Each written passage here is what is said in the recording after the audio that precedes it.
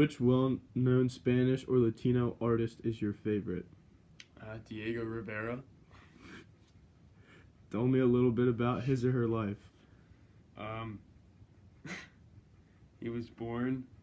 He was born on December eighth in Mexico, eighteen eighty six, and he was. He's more of a well known large scale mural painter, who like created frescoes in Latin America. He studied in Spain with Pablo Picasso and Georges Braque. He painted his most ambitious mural in an Epic Story of Mexico in Mexico City, and it was unfinished when he died. His wife was Frida Kahlo, and he's written an autobiography which was published in 1960. Thank you.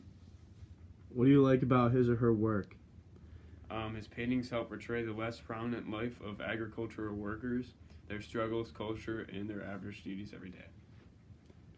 Please show me your top three favorite paintings by this artist. It's fine if you're on your iPad, man. It's totally cool. All right, thanks, man. Uh, the first is Field of Cacti. Yeah, What a beautiful painting. thank you. It took some time. Second is Cabbage seller, Cabbage seller, Yeah, Remarkable. thank you. And my last one is the Mexican Hero. Yeah, describes our pastime.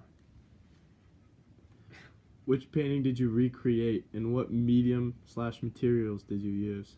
I recreated the painting Retardo de Ignacio Sanchez.